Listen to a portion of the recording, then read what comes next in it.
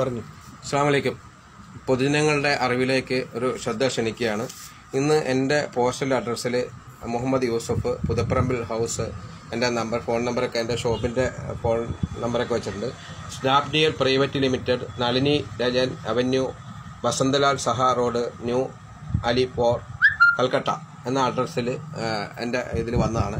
എന്താണെന്ന് വെച്ചാൽ ഞാനൊരു കവറ് അത് തുറന്ന് നോക്കിയപ്പോഴത്തേക്കും അതിനകത്ത് ആദ്യം തന്നെ ഒരു ലക്ഷം രൂപയുടെ വിന്നർ അടിച്ചെന്നും പറഞ്ഞിട്ട് ഒരു സർട്ടിഫിക്കറ്റ് ഓടി അച്ചീവ്മെന്റ് സർട്ടിഫിക്കറ്റ് ഓടി ഒരു ഇത് വന്നു. അതിന്റെ കൂടത്തെ ഒരു കൂപ്പണും കൂടെ ഉണ്ടായിരുന്നു. ആ കൂപ്പണിന് ഒരു ഹെൽപ്പ് ലൈൻ നമ്പറും കൂടെ കൊടുത്തിട്ടുണ്ട്.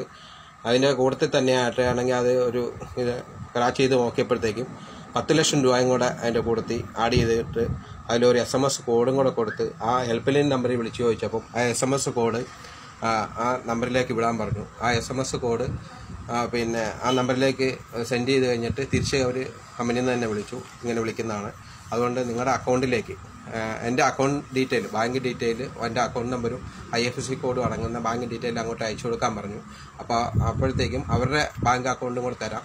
പതിനൊന്നായിരം രൂപ നിങ്ങളുടെ അക്കൗണ്ടിലേക്ക് അവരുടെ അക്കൗണ്ടിലേക്ക് സാബ്ഡിയുടെ അക്കൗണ്ടിലേക്ക് ഇടാൻ ഇടാ ഡെപ്പോസിറ്റ് ചെയ്യാൻ പറഞ്ഞു. അപ്പോൾ നിങ്ങളുടെ എന്റെ അക്കൗണ്ടിലേക്ക് പിന്നെ പതിനൊന്ന് ലക്ഷം രൂപ ട്രാൻസ്ഫർ ചെയ്യുമെന്ന് പറഞ്ഞു. ഇപ്പം തന്നെ ചെയ്യാൻ സാധിക്കുമെങ്കിൽ വളരെ നല്ലതാണെന്ന് പറഞ്ഞിട്ടാണ് പിന്നെ ആ ഒരു പിന്നെ ഫോൺ കോൾ എനിക്ക് ലഭിച്ചത്. എനിക്ക് ഹിന്ദി കൂടുതൽ വശമില്ലാത്തതുകൊണ്ട് എന്റെ ഒരു ലീഡറിനെ സമീപിച്ചുകൊണ്ട് ഞാൻ കോൾ ചെയ്തു. അപ്പം അവരെ ഹിന്ദി കൂടുതൽ സംസാരിച്ചു. അപ്പോൾ കൂടുതൽ ഇങ്ങനെ സംസാരിച്ചു വന്നപ്പോഴത്തേക്കും അവർ പറഞ്ഞത് പിന്നെ അവർ ഫോൺ എടുക്കുന്നില്ല കാര്യങ്ങൾ ചോദിച്ചപ്പം അത് തനി ഉടായ്പാണ്.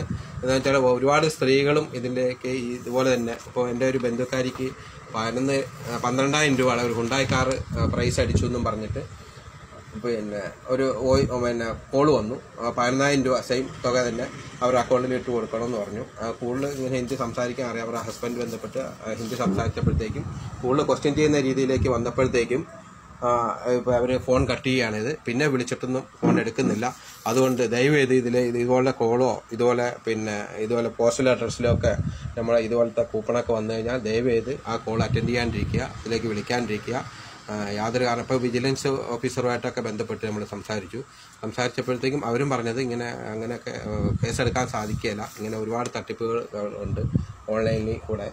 അതുകൊണ്ട് ദയവായി ഇത് ആരും ഇതിന്റെ തട്ടിപ്പിൽ ഇരയാകരുതെന്ന് അഭ്യർത്ഥിക്കുന്നു. നമസ്കാരം.